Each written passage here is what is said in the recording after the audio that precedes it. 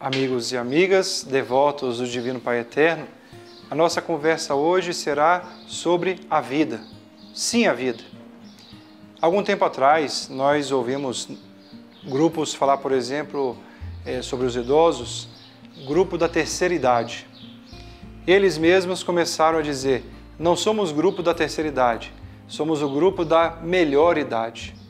E de fato, em vários lugares por onde eu já passei, eu vi grupos se organizando em torno dos idosos, promovendo danças, promovendo encontros, assim dando qualidade de vida a esses nossos amigos que têm já uma certa experiência de vida. Eu creio que o grupo da melhor idade precisa ser expandido para crianças, jovens, adolescentes.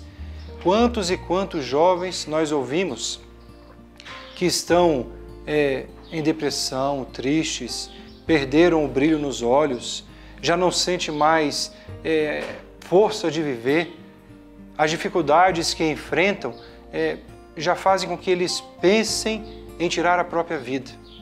Isso é um desafio e, ao mesmo tempo, é, nos entristece e exige de nós é, frentes, movimentos, é, até políticas públicas para que possamos ajudar os nossos jovens, ajudar o ser humano a buscar sua dignidade, a buscar a vida plena. O desafio da vida exige de nós opções. Nós podemos buscar viver uma vida feliz, uma vida alegre, ou fazer opção por se entregar.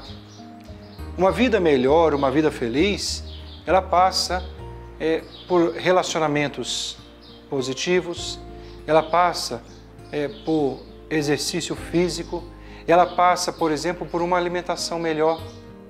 Tudo isso faz cada um de nós termos uma qualidade de vida. Cada um de nós recebemos este dom valoroso por parte do Divino Pai Eterno. É Deus Pai que nos oferece o dom da vida. E devemos cuidar, zelar dessa vida que nos foi dada. É um presente do céu. Por isso, a vida deve ser cultivada da melhor forma.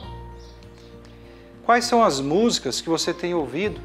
São músicas que é, criam em nós é, disposição para dizer sim à vida? De que forma você tem alimentado a sua vida? Nós devemos buscar é, meios para viver a vida de forma muito melhor. E é possível quando nós nos cercamos de pessoas que nos ajudam a ser mais felizes. Por isso, o convite para nós é de promovermos encontros. Sabe aqueles encontros que aconteciam antigamente em nossas famílias de final de semana?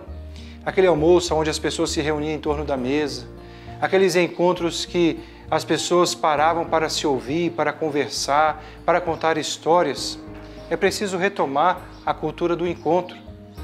Quando nós nos colocamos é, frente um ao outro, com as suas histórias, com a beleza da vida, isso nos alegra. Você e eu, então, temos um compromisso. Vamos promover a cultura do encontro, vamos nos relacionar, vamos promover encontros que favoreçam a partilha, a história, a convivência saudável para que nós possamos optar sempre mais por uma vida feliz. Faça isso, conte essa experiência para os seus vizinhos, para os seus amigos e, promovendo a vida, nós vamos promover a felicidade entre nós. Que Deus abençoe e faça essa experiência para que a sua vida seja é, digna, para que a sua vida seja plena.